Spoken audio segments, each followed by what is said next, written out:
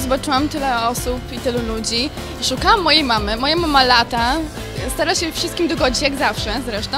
No ale nie wiem, widzę, że jest szczęśliwa i się cieszy. A tata to w ogóle już ten walentynkowy prezent po prostu na 100%. Super. Bardzo dziękuję mojej żonie za taki cudowny prezent i taką dedykację.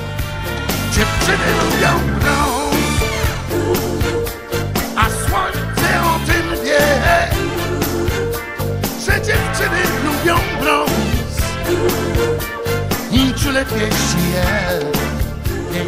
Cieszę się ogromnie, że tutaj jestem, bo naprawdę atmosfera i to, co gospodarze tutaj stwarzają wraz z przyjaciółmi jest naprawdę fantastyczne. Jest po prostu niesamowicie.